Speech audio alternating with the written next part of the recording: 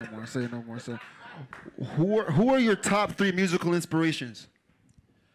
I mean, uh, I'm from Sauga City, so probably PARTYNEXTDOOR. He's somebody I listen Hey, to P and D, P and D. That's what's up. before I even made music. Like just hearing, I just remember at the time, like hearing someone from Mississauga just getting recognized the way they were. That was a huge kind of push in the direction that got me here. No doubt. Um, obviously, you know, being from here, if you're not inspired by Drake, you're lying. Facts. Um, Facts. And uh, uh, Young Thug's one of my favorite Young artists. Thug's so. huge with that, man. I can see that.